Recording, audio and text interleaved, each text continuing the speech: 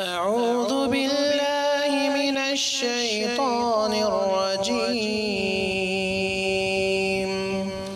بسم الله الرحمن الرحيم.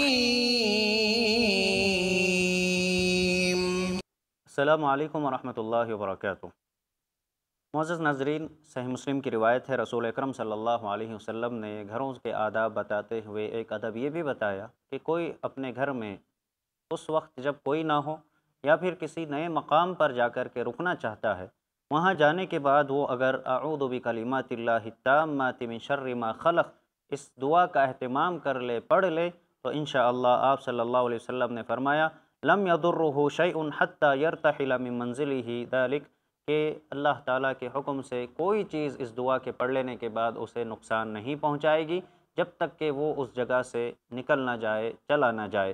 یعنی یہ بات واضح ہے کہ کئی ایسے مقامات جہاں غیر آباد ہوں اور جہاں نئی جگہیں ہوں، اگر انسان جاتا ہے تو وہاں شر ہونے کے امکانات ہوتے ہیں، نقصان ہونے کے امکانات ہوتے ہیں۔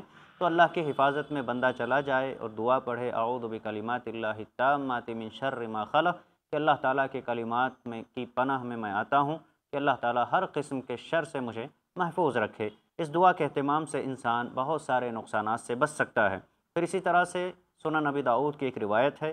راوی حدیث ابو حریر رضی اللہ عنہ بیان کرتے ہیں کہ ایک شخص رسول اکرم صلی اللہ علیہ وسلم کے پاس آیا اور اس نے کہا کہ اللہ کے نبی صلی اللہ علیہ وسلم، مجھے کل رات کو ایک بچھو نے ڈنک مارا ہے۔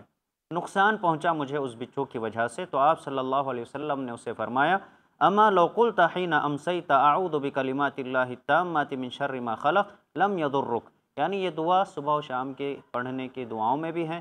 کہ آپ صلی اللہ علیہ وسلم نے اسے فرمایا کہ اگر تم شام کو یہ دعا پڑھ لیتے، اعوذ بکلمات اللہ التامات من شر ما خلق، کوئی چیز تمہیں نقصان نہیں پہنچاتی، تو یہ تجربات سے بھی بات ثابت ہے۔ اس کا اہتمام انسان کو کرنا چاہیے۔